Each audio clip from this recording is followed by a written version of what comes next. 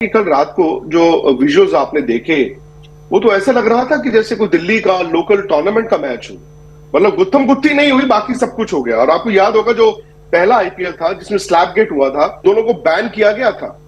और यहाँ पर फाइन लगा दिया गया। इंडिया के मशहूर एंकर पर्सन विक्रांत गुप्ता का विराट कोहली और गौतम गंभीर की फाइट पर बड़ा बयान आ गया। विक्रांत गुप्ता का कहना था कि विराट कोहली और गौतम गंभीर ने कल काफ़ी गलत रवैया इख्तियार किया। कल विराट कोहली और गौतम गंभीर के दरमियान फाइट देखकर काफ़ी मायूसी हुई।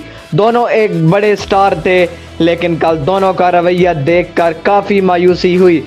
विक्रांत गुप्ता मजीद कहते हैं कि दोनों ने कल आईपीएल की बदनामी की। और दोनों की फाइट देखकर यंग खिलाड़ियों को काफ़ी नुकसान होगा, क्योंकि यंग खिलाड़ी सीनियर खिलाड़ी से सीखते हैं और जब सीनियर ऐसे काम करें तो यंग खिलाड़ी भी आने वाले मुस्तकबिल में इसी तरह लड़ते रहेंगे और मुल्क को काफ़ी नुकसान पहुंचेगा, क्योंकि जब टीम में दरारें पैदा होंगी तो टीम मज़बूत नहीं होगी और हमारी इंडियन टीम काफ़ी पीछे चले जाएगी। इसलिए विक्रांत गुप्ता कहते हैं कि विराट कोहली और गौतम गंभीर कल दोनों ने काफ़ी गलत किया।